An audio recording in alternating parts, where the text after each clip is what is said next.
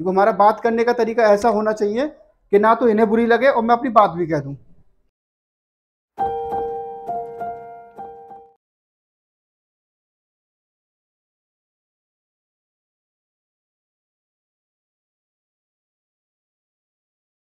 ठीक है? हमारे जो दूसरे पॉइंट इसमें क्या बनते हैं?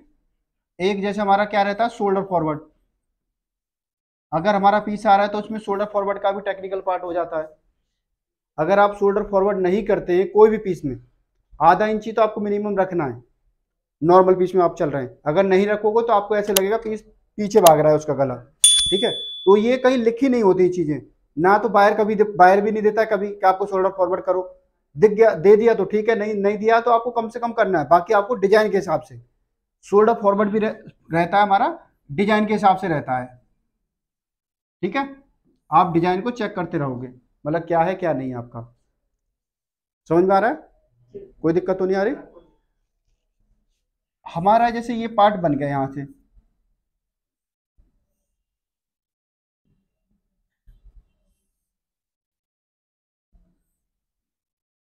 जैसे मान लो ये बॉडी जो होती है ना पैटर्न मेकिंग में बहुत इंपॉर्टेंट होती है ये बॉडी वाला पार्ट सारी फिटिंग यहीं पे है।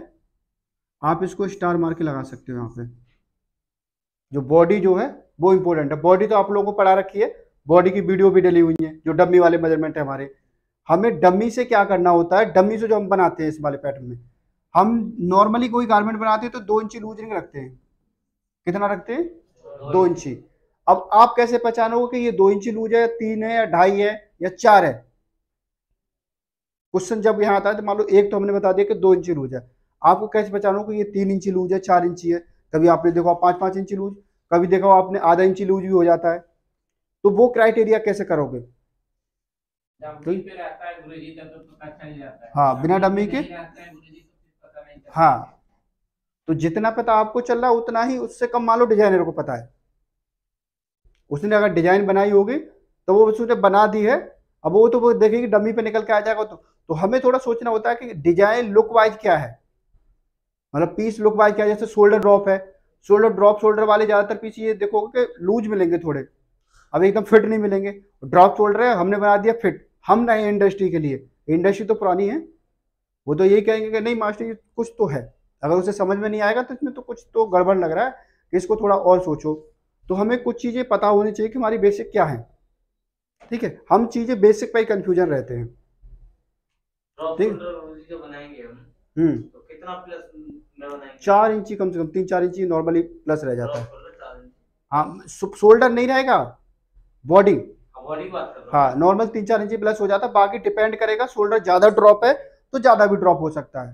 ठीक है? नॉर्मली रहता है आपका। और बाकी अगर शोल्डर मान लो आधा या पौन इंची प्लस है तो उतना कोई फ़र्क नहीं पड़ता है। अगर थोड़ा एक डेढ़ इंची एक साइड से प्लस है एक डेढ़ इंची इधर तो मान लो तीन इंची का वेरिएशन होगा। तो उसमें चीज़ों में थोड़ा आपको डिफरेंट मिलेगा।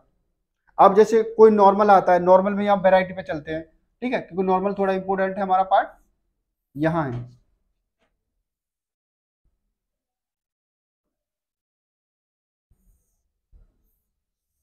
जैसे ये है ये समझ में आ रहा है? अब जब आपने देखा होगा ए लाइन वाला भी गारमेंट देखा है कुछ लोग क्या है इसको ऐसे ही बना देते हैं? ये मैंने एक दोबारा पॉइंट बता रहा हूँ एक बार बताया भी होगा। हाँ। आप कोई भी अगर मैनुअल पैटर्न सिलेस करते हो सिलेस बोले तो सिलेस ही बोलते हैं। अगर इसको काट के अगर बढ़ाते हो, कोई भी चीज़ मान लो तुम बाजू, अगर इसको भी काट रहे हो, इसको तो इसके क्या है, फिर ये बॉटम है ना, ये ऐसे घूमते चले जाएँगे। ये जो राउंड है, ऐसे होता चला जाएगा गड्ढे में, ठीक है? और ऐसे हो जाएगा और ये ऐसे इस टाइप का निकल के आएगा, ठीक है? ताकि जब ये इधर आएगा तो पोजीशन ही उठ जाती है। तो जो हम स्लीवलेस वगैरह जो गारमेंट बनाते हैं ना, बाजू वाले में तो आपका हजम हो जाता है। बाजू में उतना फ़र्क नहीं पड़ता। जब स्लीवलेस गारमेंट आ जाते हैं तो वहाँ पर आपको देखने लगता है। क्योंकि उधर क्या साइड से भी देखता है बंदा कि बैठा है कि नहीं।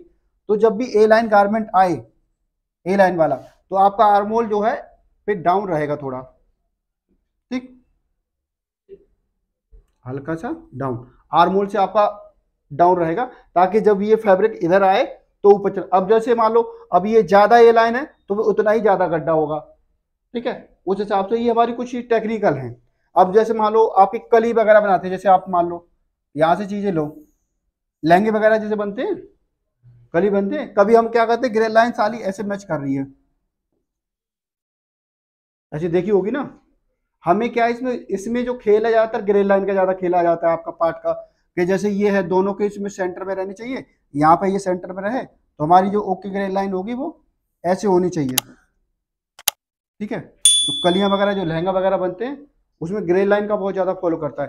ग्रे लाइन से आपका पीस में बहुत ज़्यादा इफ़ेक्ट पड़ जाता है। समझ में आ रहा है? अभी बेसिक पे चल रहे हैं हम, थोड़े बाहर नहीं निकले हैं।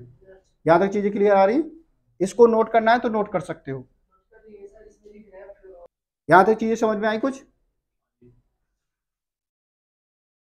बैलेंसिंग वगैरह तो आपको आती होगी बैलेंसिंग कैसे होती है, कैसे नहीं होती है? हाँ। हाँ सेंटर से आधा इंची, और जैसे बस्ट थोड़ा बहुत बढ़ता है तो और ज़्यादा कर सकते हैं। डिपेंड बाकी स्टाइल पे लूज जितना स्टाइल होगा उतनी बैलेंसिंग ज़्यादा मांगेगा। लूज जितना स्टाइल होगा ना, उतनी बैलेंसिंग ज़्यादा जाएगी। और जितना लूज स्टाइल कम में, उतनी बैलेंसिंग कम हो जाती है। क्योंकि वो बॉडी से चिपक जाता है। लूज वाले में क्या है ना, फिर साइड ही लटकती है। और थोड़ा लूज में एकदम हैवी स्टाइल हो जाए तो फिर और कहानी गड़बड़ हो जाती है। क्योंकि उसमें देखा होगा कि ज़्यादा हैवी पीस होता है तो उसमें लाइनिंग भी अटैच करके रखते हैं, ताकि पीस को कंट्रोल करके थोड़ा रखे। और थोड़ा अंडर का, वो अंदर का भी थोड़ा क्लियरेंस में रहे। तो हमें गारमेंट जब डेवलप करते हैं तो बहुत सारी चीज़ें ध्यान रखनी पड़ती हैं। अब इसमें समस्या कहाँ तक आ रही है? इसमें किसी को कोई समस्या है? अब मान लो जिसमें जो वैरायटी हमारी चलती है,